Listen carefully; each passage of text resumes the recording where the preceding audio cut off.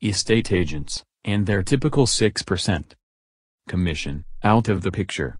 Websites have made surprisingly little headway in helping consumers bypass agents by doing a for sale by owner, known in the trade as a FSBO. Some sites offer scaled-back real estate agent services for a reduced commission. The communities typically served by such services tend to have higher cost homes. Think of these realty brokers as discount brokers. With a reduced level of service comes a lower price. One site